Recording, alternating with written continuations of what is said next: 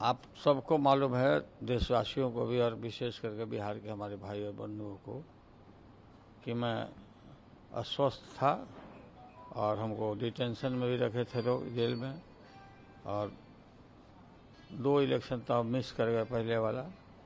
अब by election हो रहा है और हम, हमारा बीमारी में भी चल रहे थे अभी, लेकिन जनता का मोह बिहार वासियों का मोह हमको घींच के लाया।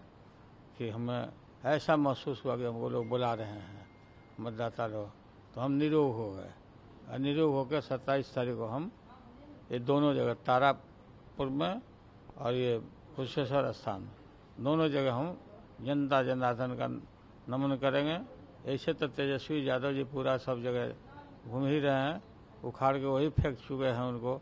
बाकी जो बचा है उसका हम विसर्जन कर देंगे।